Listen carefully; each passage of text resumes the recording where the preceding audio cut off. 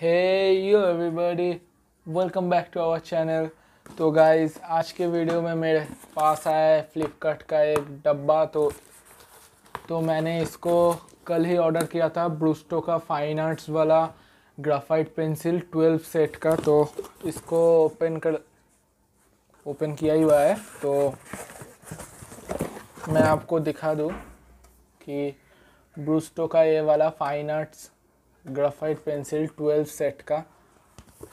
और ये बॉक्स मेरे कुछ काम का नहीं। तो तो इसको आज हम रिव्यू करने वाले हैं।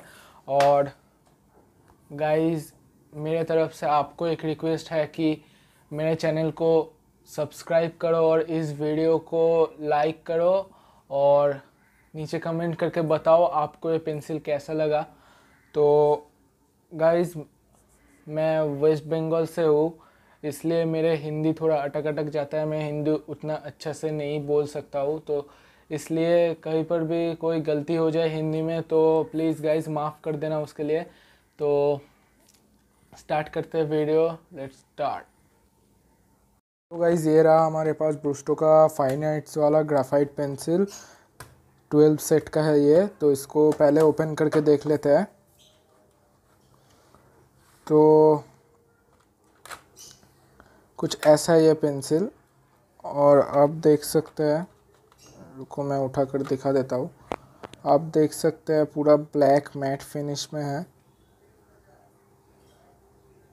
पूरा ब्लैक मैट फिनिश में है, और ये मैट फिनिश मुझे बहुत ही अच्छा लगा, और मैट फिनिश के ऊपर सिल्वर कलर का, और ये जो ग्रेट का मार्क है वो ब्लैक में हुआ है। तो इसके बाद हम लोग इसका इस, सब पेंसिल को शेड करके देखते हैं एक पेज में। तो देखते हैं कैसा शेड होता है इस पेंसिल इस पेंसिल में।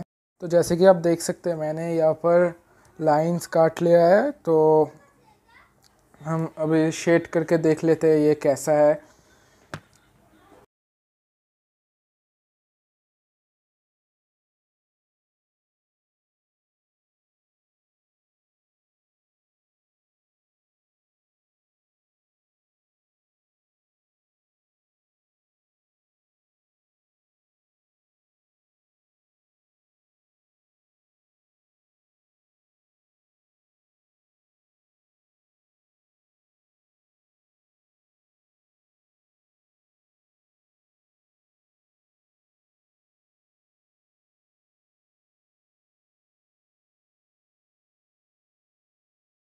जैसे कि आप देख सकते हैं, मेरा शेडिंग यहाँ पर कंप्लीट हो गया है।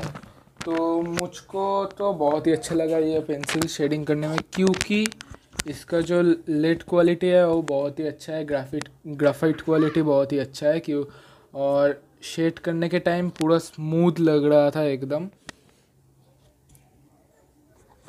और इसको हम ब्लेंड करके देख लेते हैं एक बार, ये ब्लेंडिंग कैसा होता है इसमें। इसमें तो लिखा है स्मूथ ब्लेंडिंग होगा। देखते हैं कैसा होता है।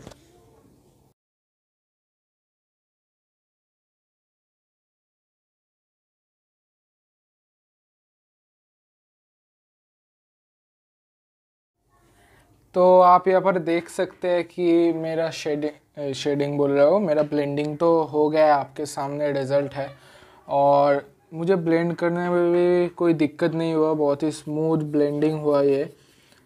मुझे तो ओवरऑल ये पेंसिल बहुत ही अच्छा लगा और इसको हम शार्प करके भी देख लेते हैं कैसा है शार्पनिंग में। और आप देख सकते हैं यहाँ पर एच बी और टू बी में बहुत ही फ़र्क है जो आर्ट लाइन के पेंसिल में बेसिकली नहीं नहीं देखा जाता। आर्ट लाइन के पेंसिल में एच बी और टू बी बराबर लगभग सेम ही होता है। तो यहाँ पर मुझको ये फ़र्क नज़र आया और इसको शार्प करके देख लेते हैं। इट इसका ऊट का क्वालिटी कैसा है? तो शार्प करता है। तो ये रहा मेरा शार्पनर तो इसको शार्प कर कर लेते हैं एक बार। तो मैं, आप देख सकते हैं, मैं बी पेंसिल को शार्प कर रहा हूँ।